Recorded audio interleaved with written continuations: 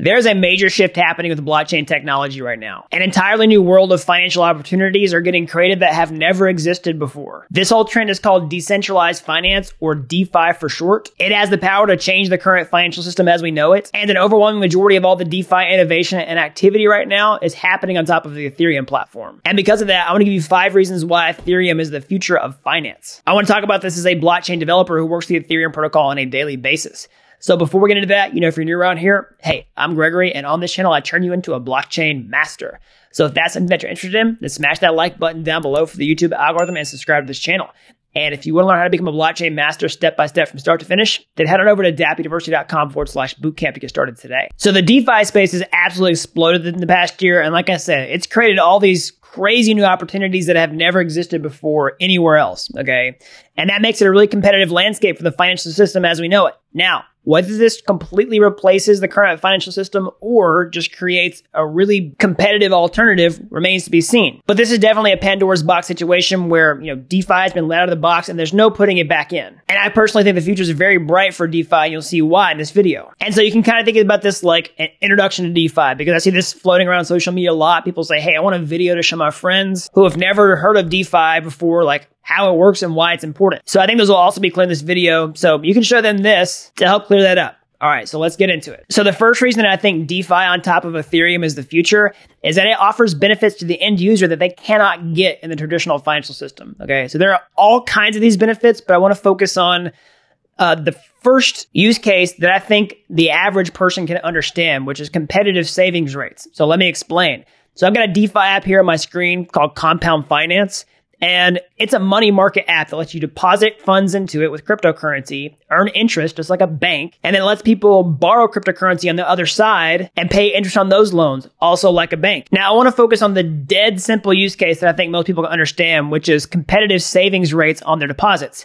So if you look at a cryptocurrency like DAI here, this is a stable cryptocurrency whose price doesn't change. It's pegged to the US dollar and it earns 5.63% interest annually on that deposit. And so I don't know if you're like me, I get hardly any interest on my deposit my bank account with my cash. And I think most ordinary people realize this and realize that DeFi can offer them a benefit that they can't get inside their bank account. So why is that? Well, essentially DeFi is doing the same thing that your bank is. You, you know, you're depositing funds into it. They're paying you interest for doing that, but then they're issuing loans out on the other side and making a profit off the difference in those interest rates. But DeFi introduces automation into the equation because it's a protocol powered by smart contracts on the blockchain. It requires requires, you know, less manpower to make that work. It's automated. And so they can offer that competitive deposit interest to you, you know, that better savings rate. And now a quick caveat here. DeFi is still early. It's still risky. I'm not advocating that you personally go take all the savings in your bank account, moving them over into a DeFi app. But I do think this will get better over time as we see, you know, third party protocols implement deposit insurance a lot like your bank does. And this, you know, ecosystem matures and becomes more safe for the end user. And honestly, I think we're probably going to see a lot of centralized user interfaces come out in the future where users don't even think about DeFi. They just log in with their email and password and earn these type of benefits. And then those, you know, companies do DeFi on the back end and charge for that service. So that's very likely to happen, but there'll still be DeFi under the hood. And that's the really important part. So the second reason why I think that DeFi is the future of finance is that it is decentralized. You know, that's where decentralized, you know, the D in DeFi comes from. So what does that mean? Well, let's contrast that from the current financial system, which is highly centralized, where basically there's a huge amount of central control that governs what you can and can't do in the traditional financial system. So let's contrast that to DeFi on top of Ethereum and see how they're different. So one really clear example I think people can understand is the Wall Street bets saga that happened, you know, early this year, where basically an online group tried to coordinate to, you know, trigger a short squeeze for some hedge funds. And basically a lot more powerful people were able to step in and essentially pause the game so that the little guys couldn't continue to act and that the big guys could try to fix the mess that they were in the middle of. So let's look at two big benefits that something like decentralized finance would offer in this case. So number one is censorship resistance, because that's exactly what you're seeing in this case, where somebody says, hey, we're going to pause trading and not let the little guy act. That's essentially censorship. So on top of DeFi and Ethereum, at least at the protocol level, no one can really just pause the game. And also because it's a decentralized ecosystem, it allows people to coordinate in large numbers to make up a collective that has power against centralized concentrations of, you know, power and money. Now I'm not advocating for like pump and dump schemes or like other nefarious activity, but it still empowers the individual in a way that the traditional financial system does not, where regulators can easily come in and censor a large group of individuals who might have too much power. And this censorship resistance also really comes into play whenever new projects are launching on top of the blockchain itself.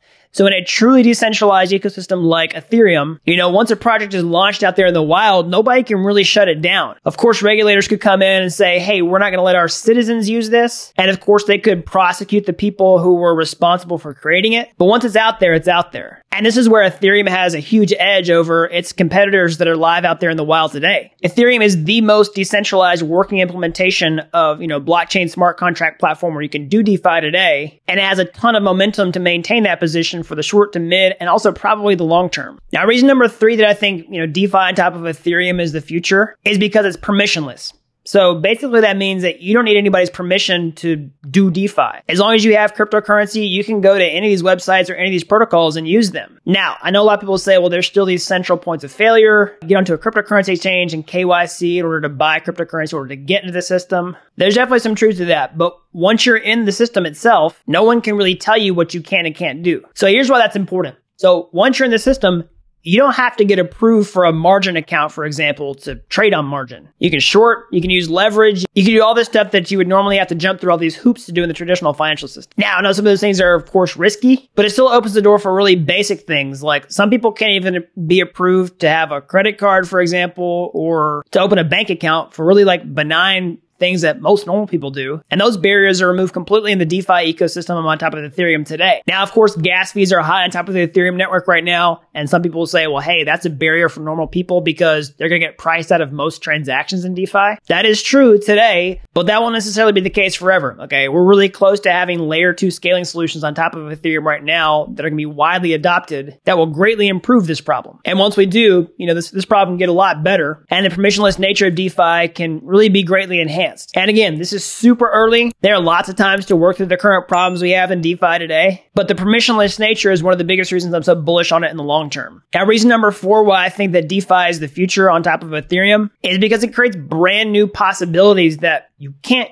do in the traditional financial system. Now, this is different from our first point where I said like, hey, it offers benefits that you can't get. I'm talking about like, that's competitive savings rates. We have saving rates in traditional finance, but we have things in DeFi that don't even exist in traditional finance. And I think we'll see a lot more down the road, but here are two really prominent ones that come to mind that I think a lot of people are familiar with. So number one is automated market maker technology. So think about like an app like Uniswap, for example. This is one of the most popular apps on top of Ethereum right now. It's a cryptocurrency exchange where you buy and sell tokens just with a click of a button. There's no order book. There's no candlestick charts. It works completely differently than other cryptocurrency exchanges or traditional financial exchanges that you might be familiar with. So how Uniswap works on the back end are these things called liquidity pools where people can park cryptocurrency to provide liquidity to the application. They're incentivized to do that because they earn part of the trading fees and the end user gets a really clean user experience where they just swap tokens, you know, like this. So that's an example of something you can do with DeFi and blockchain technology that you can't really do in the traditional financial system. There's no way to like trustlessly create an incentive structure like that where you can power a decentralized application that can't be turned off. So another use case is something you can do in DeFi you can't do in traditional finance are flash loans, for example. And these are completely permissionless, completely decentralized. This is where you can borrow millions of dollars of cryptocurrency for free with nobody's permission, as long as you pay it back in the exact same same transaction that you borrowed it in. So you can use this for stuff like uh, arbitrage trading. You can use it for leverage when you're doing yield farming in DeFi and lots of other crazy things. So flash loans are absolutely crazy. It's like this mind blowing futuristic concept. And there's no way to accomplish something like that inside the traditional financial system. Sure, you could say like some crazy margin account or something like that. But one of the big benefits of a flash loan is there's no risk that you can lose the money that you borrow. And so it's not really the same thing. So the last big reason I want to talk about in this video as to why I think DeFi on top of Ethereum is the future of finance is the sheer momentum that this has. You know, I talked about how this space has absolutely exploded over the past year and it's gotten a lot of mainstream attention and we're already starting to see mainstream adoption of DeFi. Now, granted, it's on a small scale, but it, it's captured the attention of some really influential people out there. We've seen people like Mark Cuban become huge Ethereum bulls. I've been talking about that on this channel. Lots of other people seeing the same thing. And they're going to where you can do DeFi right now, which is on top of Ethereum. You know, so many people are having this aha moment and talking about online, spreading this awareness like this. You know, open a MetaMask wallet, trade on a DEX, yield farm via LP, and buy an NFT. Do all this or all versions of this and tell me why this is not version 1.0 of a new financial system. I think that's spot on. And I think he said it really well. Was version 1.0. There's still lots of problems that have to be solved, but it has so much momentum. It's captured the attention of so many big brains who have a lot of capital to invest to see this ecosystem grow and also a ton of reach to, you know, market this to millions and millions, if not billions of people. All right. So those are my top five reasons why I think DeFi on top of Ethereum is the future of finance. So as always, you know, I hope you like this video. Smash that like button down below for the YouTube algorithm. Subscribe to this channel. That really helps these videos out so more people can learn about blockchain. If you like this, you know, you're as fascinated with this technology as I am, and you want to get your hands dirty, you know, how can you get started today? You can go to my YouTube homepage. You can find any of my free courses there, like Udemy courses, but they're totally free. All right. You like those videos? You want to take the next step? Or hey, maybe you want to take a master shortcut entirely? I can show you how to become a blockchain master step by step from start to finish over at dappuniversity.com forward slash bootcamp. Don't worry, you don't have to be an expert to get started today. I've helped people with zero coding background become real world blockchain developers in a matter of months. All right, so that's all I've got. And until next time, thanks for watching Dapp University.